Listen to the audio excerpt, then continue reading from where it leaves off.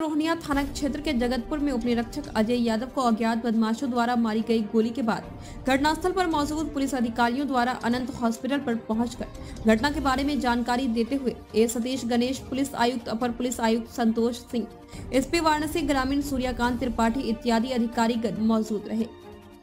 देखिए Navi Mumbai times news Varanasi की खास रिपोर्ट।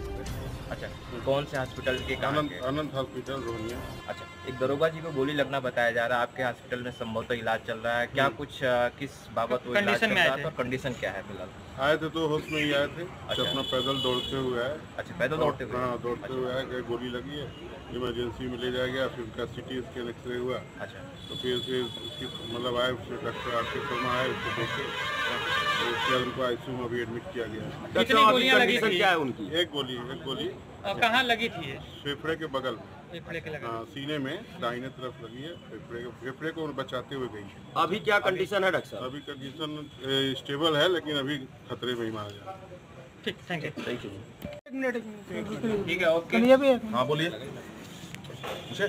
सर आज किस प्रकार की देखिए ऐसा है थाना लक्सा पे तैनात उपरीक्षक अजय यादव आज अपने निजी प्लॉट पे, निर्माणाधीन निजी प्लॉट पे, जो कि थाना रोहनिया के जगतपुर क्षेत्र में पड़ता है, वहाँ पे शाम को करीब छः, साढ़े छः बजे के बीच में पहुँचे हैं। वहाँ पर तीन अज्ञात युवकों के द्वारा इनके ऊपर हमला किया गया।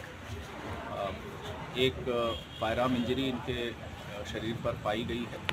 डॉक्टरों से जो हमने अभी तक बात की है, उसके मुताबिक इनकी कंडीशन एकदम नॉर्मल है। किसी भी प्रकार का इनको जीवन भय नहीं है। सीटी स्कैन और एक्सरे रिपोर्ट एकदम नॉर्मल आई है।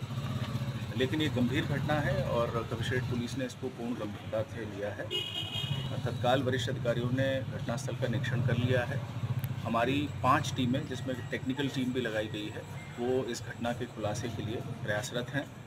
हमारा प्रयास होगा कि जो भी लोग इसमें इन्वॉल्व हैं उनको शीघ्र से शीघ्र शिनाख्त करें और उनके विरुद्ध कठोरतम कार्रवाई हम लोग के द्वारा की जाएगी। सर दरोगा जी से कुछ बातचीत